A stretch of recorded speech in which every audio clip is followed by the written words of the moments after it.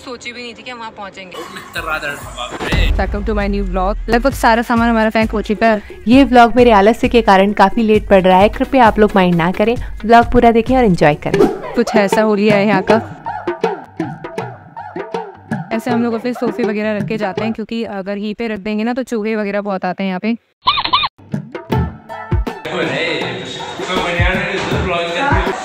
ये लड़का ऐसे ही रहता है। हाँ जा रहे हैं आजा ऐसे जाने वाला है क्या?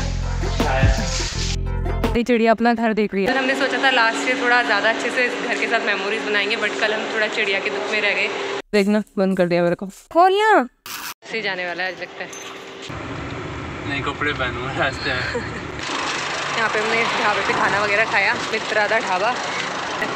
हम लोग सोच रहे हैं कि हम कुरुक्षेत्र में जाकर थोड़ा खाटू श्याम जी का एक पेड़ है ना वहाँ पे दर्शन करके आए। तो हम लोग पहुँच चुके हैं जूसर। तो ये मेन एंट्रेंस है यहाँ की। वो है वहाँ पे अमर पीपल का पेड़। तो यहाँ पे कान्हा जी ने उपदेश दिया था। अर्जुन जी को गीता उपदेश।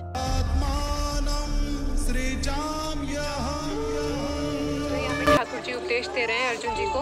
अर्जुन जी ने ना ये अपने हथियार वगैरह थे वो छोड़ दिए थे। फिर उसके बाद कृष्ण भगवान ने उनको उपदेश दिया था। उनके तो यहाँ पे कान्हा जी हैं और अर्जुन जी हैं। और साथ में यहाँ पे ये एक बरगद का पेड़ है। यहाँ पे लोग अपने मन्नत के धागे बांधते हैं और जिनकी मन्नत पूरी हो जाती है वो अपनी मन्नत के धागे बाद में छोड़ के आ जाते हैं। और फिर उन्होंने कह दिया कि भगवान जो कृष्ण ने गीता गाई थी वो ठीक इसी जगह पर ही गई गई आज से साढ़े पाँच हज़ार वर्ष जो कि महाभारत का युद्ध लड़ा गया। ये पूरा ही अड़तालीस कोस का भूमि यानी कि एक सौ छप्पन किलोमीटर में महाभारत का युद्ध लड़ा गया। बताते जो कि 18 दिन तक चला। अठारह अध्याय गीता के हैं सात सौ श्लोक है प्रभु जी आज जितना भी श्रद्धालु इधर में दूर दराज से आता है चाहे वो मुंबई से आता है दिल्ली से आता है चंडीगढ़ से आता है पंजाब से आता है हरियाणा से आता है यूपी से आता है उधर में जाके ये सवाल करूँगा उनका सवाल होता है प्रभु जी सीधा साधा साहब कि हमें वो लाल मिट्टी तो बताइए कि है। क्योंकि उस समय बहुत ही भयानक युद्ध हुआ था और युद्ध के कारण ही वो पूरा का पूरा धरती लाल हो गया था। लेकिन आज वो लाल धरती यहाँ पे हमें अब दिखाई नहीं देता है। उस जमाने में बताते हैं कि उस समुद्र में ना तो किसी का मकान था ना किसी का घर था। ये बिल्कुल एक बंजर ज़मीन था कि जिधर में महाभारत का युद्ध लड़ा गया था। आज हम जिस पवित्र भूमि पे जिस पावन धरती पर इधर में आए हैं ये है मध्यम यानी के सेंटर पॉइंट के जहाँ पर भगवान कृष्ण जी ने अर्जुन को गीता सुनाया। जब अर्जुन को इधर में आके मोह हो गया कि मेरे चाचा मेरे दादा मेरे बंधु मेरे सके तो है प्रभु मैं मारूं तो किसको मारूं? तो भगवान कृष्ण जी ने फिर जगह से कह दिया अर्जुन अगर तू नहीं मारेगा तो मारे ये सब जाएँगे इसलिए उठो और युद्ध का तैयारी करो। कहते कि फिर इसी जगह से युद्ध का शुरुआत हुआ और इसी जगह से विराट रूप के अर्जुन को दर्शन भी हुए। भगवान कृष्ण जी ने जब उनको दिव्य दृष्टि देकर अर्जुन को पूरे का पूरा ही ब्रह्मांड दिखा दिया था कि अर्जुन, अब तो पूरा ब्रह्मांड देख सकता है, मैंने तेरे को दिव्य दृष्टि दे दी।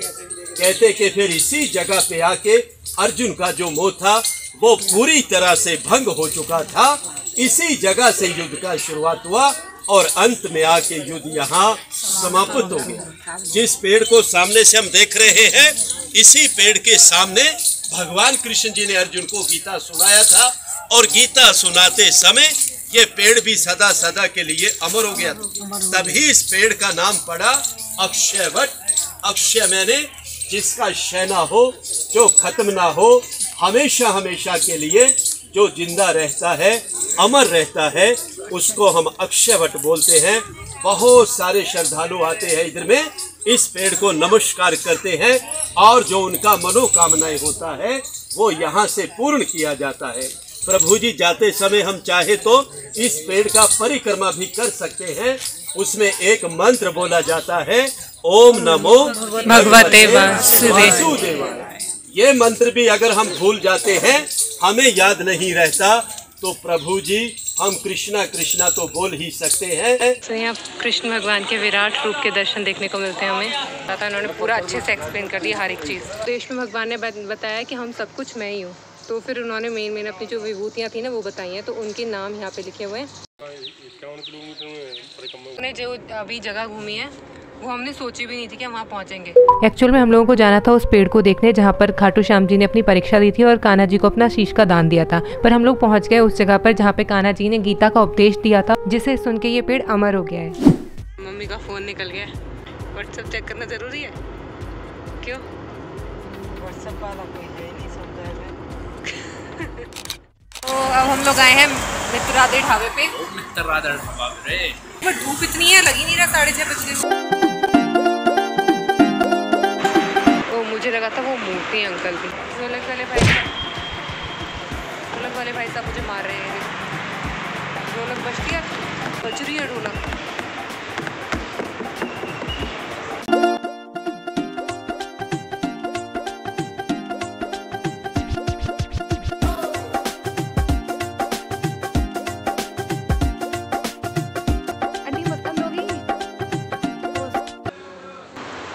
आंटी की हेल्प करा दूँगी आंटी हेल्प करो ज़रूरत नहीं ज़रूरत नहीं है मेरी तो बढ़ा दे रखा है इन्होंने काफ़ी। छः घंटे का सफ़र करने के बाद अब रुके हैं।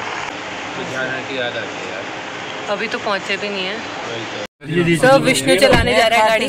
किंदे ताले मटना किंदे ताले तू ठुमक ठुमक खाए किंदे ताले तू। विष्णु ऐसे परेशान करता है लोगों को। उसको इरिटेट कर रहा है? तो हम लोग दिल्ली पहुँच गए। परेशान हो गया? चला गया। हो गया परेशान? और कर ले इरिटेट तो अभी रात के नौ बज रहे हैं और फाइनली हम लोग दिल्ली पहुँच चुके हैं। हमारे घर के बहुत पास है ये होटल तो हम लोग यहाँ पे आ रखे हैं। सिर दर्द हो रहा है, भाई, बहुत तेज सिर दर्द हो रहा है। आपको इनकी भी तबीयत ख़राब हो गई थी। पता है इन्होंने ना कल इतने सारे कपड़े अकेले धो लिए। तो ये मैंने ऐसा पहला होटल देखा है जहाँ पे ना भजन चल रहे हैं रात को, सिया राम जी के। अच्छी वाइब्स आ रही हैं। पॉजिटिव एनर्जी के साथ खाना खाना खाओ। Now feeling happy is full. You are happy. तो हम जो ये पौधे छोड़ के गए थे ना ड्रिपिंग सिस्टम लगाकर, ये सारे हरे भरे हैं। हमारा सिस्टम ने भरोसा संभाल के रखा और काफ़ी सारे पौधे जो हैं वो काफ़ी हेल्दी नज़र आ रहे हैं काफ़ी बड़े भी हो गए हैं। जैसे कि ये ओ गॉड मिर्चें आ गई यार। वाओ नाइस हमारे यहाँ एक मिर्च का पौधा था और एक बैगन का भी था। बैगन। छोटू सा पौधा था और ये भी इसकी भी हाइट बढ़ गई पंद्रह दिन में। और इसको हम लोग अब वो करके रख देंगे। क्या कहते हैं इसको? डिसेंबल करके रख देंगे और दोबारा जब ज़रूरत होगी तो फिर असेंबल कर लेंगे। ये चीज़ तो निकल गई बट ये जो पाइप है ना, इसको निकालेंगे तो यहाँ पे इसका होल बड़ा भी हो सकता है। इसको कैसे पैक कर दिया? ऊलाला क्या होता है? गाना गा रही गंदा सा। गाना गा